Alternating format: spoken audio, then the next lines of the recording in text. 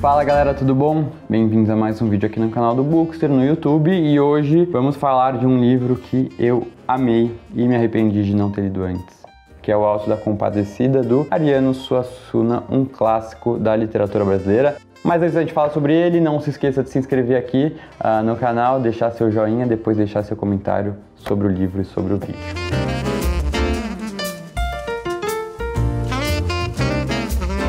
Bom, Alto da Compadecida, para quem nunca leu, ele é muito conhecido no Brasil, lógico, a obra é muito conhecida, mas eu acho que ele ficou ainda mais conhecido por conta do filme, que eu acho que foi lançado já há alguns bons anos, mas que eu vi algumas vezes e lembro de ter gostado muito, assim, porque uh, mistura um pouco um cenário né, de sertão brasileiro com uh, críticas sociais, críticas à religião, ao que a gente entende de cidadão do bem, cidadão não bem, que é um tema também bem atual e que a gente precisa sempre refletir sobre isso. E no caso do livro, eu Nunca tinha parado muito para ler, porque eu já pensei, ah, já viu, assisti o filme, né? Isso é o pior erro que eu faço é não ter vontade de ler um livro porque eu já assisti o filme, porque o livro é sempre muito melhor. E eu sei disso, mas é um erro que eu cometo. Mas estou tentando uh, reparar isso e foi justamente assim que eu tive vontade e peguei para ler O Alto da Compadecida, que é uma peça, né, teatral. Ela foi uh, publicada pela primeira vez em 1955 e encenada pela primeira vez em 1956,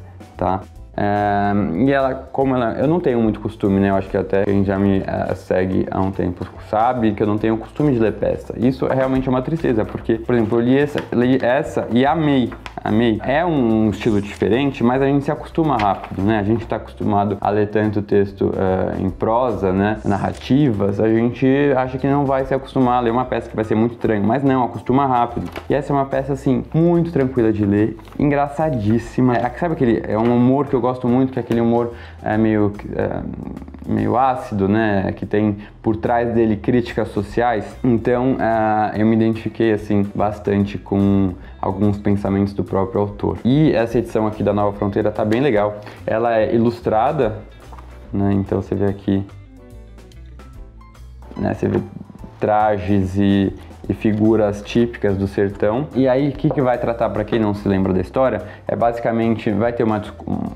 Um, no começo do livro tem umas discussões aí entre uh, né, os membros uh, da, da igreja de uma cidade pequenininha e, e pobre né, do sertão, uh, brasileiro do Nordeste. Vai ter uh, um, né, um encontro também entre vamos dizer assim, o burguês, o comerciante que tem mais dinheiro e, o, o, o e a classe mais pobre realmente, que é a gente vê pelo é, personagem principal, que é o João Grilo e também o amigo dele, o Chicó. E, mas o João Grilo, ele é de uma é, safadeza assim e, e Sabe aquele cara inteligente que consegue dobrar todo mundo e é isso que ele vai fazendo. E aí, por um acontecimento, a galera morre e aí eles vão uh, pro purgatório decidir quem vai e quem não vai pro inferno. E aí esse é, é, né, é, a cena mais legal, que é a cena desse julgamento. Então vai estar Jesus, vai estar o diabo, uh, e aí o, meio que o João Guido ele vai intermediar as discussões de quem deve ir e quem não deve ir pro, pro inferno. É muito, muito interessante, porque vai, vai né, acho que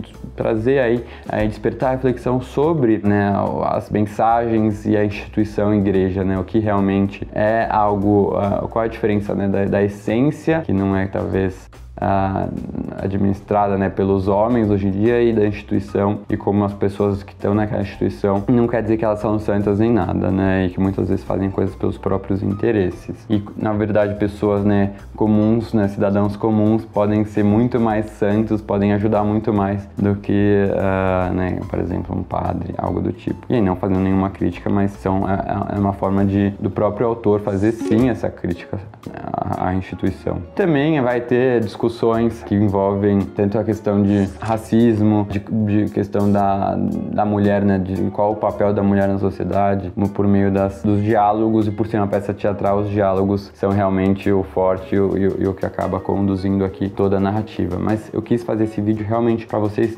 não deixarem de ler esse livro e eu sei que ele faz parte de uma trilogia, já tem a sequência dele que eu quero ler, uh, que também falam que é tão bom quanto, uh, que como não foi é, transformado em adaptado para o cinema não ficou tão conhecido. Mas eu já tô louco para ler outros livros do Suassuna, ele tem romance também. A Nova Fronteira me enviou, então realmente não vou parar por aqui e espero que vocês também se deem a chance de, de ler esse livro incrível. É isso, pessoal. Espero que tenham gostado aqui dessa resenha e aguardo vocês no próximo vídeo.